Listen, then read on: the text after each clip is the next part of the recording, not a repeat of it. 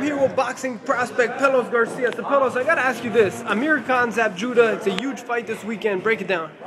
Uh, it's gonna be a good fight. First of all, I think uh, you know you can't take anything away from Zab Judah because you know he's you know he's been showing a lot you know lately you know and uh, he's a veteran you know he, he he's got a lot of experience. Uh, as far as you know knockdowns, I, I think um, Zab Judah would have a bigger bigger chance of you know maybe a, a, drop you know a Khan or something. But uh, Khan you know he's a strong guy too. But I don't I don't see him knocking out uh, Zab. I, decision. I call it decision. Um, as far as who, you know, it's it's on how uh, Zab Judah does. You know, if he tires out in late rounds, you know, he you know he he's been that's happened to him a few times where he tires out and he gives the last rounds away. So I mean, it's on on how Zab Judah does too, and uh, Khan how he he fights with a veteran. So Who is Julian going for?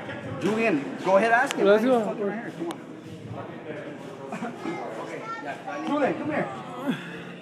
Hey, Julian. Hi, Alvin. How are you? It's Super Judah, right?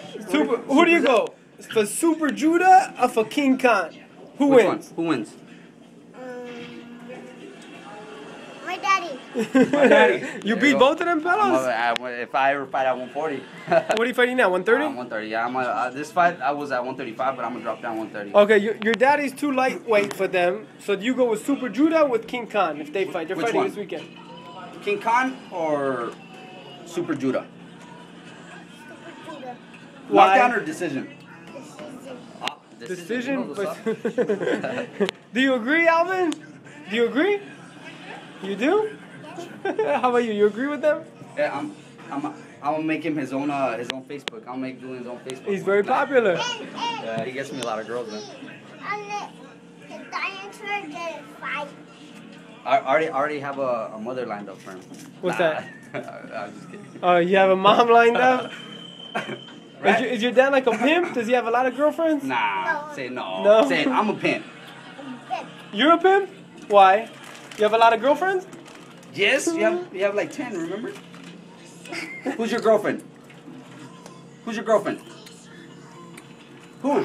He don't want to say. He don't want to put himself on blast. you know? Okay, yeah, he doesn't want to expose because then the other girls will be know, jealous. Yeah, yeah.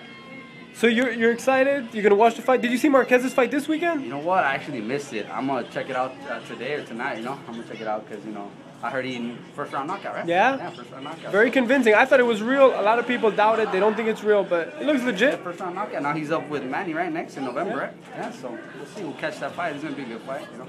And you have a fight coming up, right? Uh, September 9th.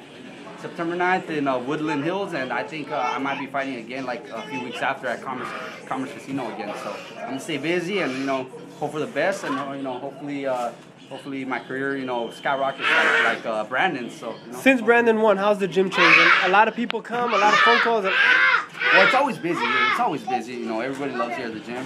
Um, you know, uh, you know, nothing really much changes. Just you know, a lot of you know more exposure here to the gym. You know, you know, on the streets. You know, hey, you know, we watched the fight. You know, here, you know, I mean, everybody loved you know the fight. It was a good fight. Three rounds, but it was a good. So fight. Brandon came in like a leopard. What are you gonna come into your fight? Come in as a sheep. uh, I gotta get sparring now. Victor Cayo, sparring. There you have it. Pelos Garcia taking care of business from the Robert Garcia Boxing Academy in Oxnard to ESNEWSReporting.com. Elie Seckbach reporting.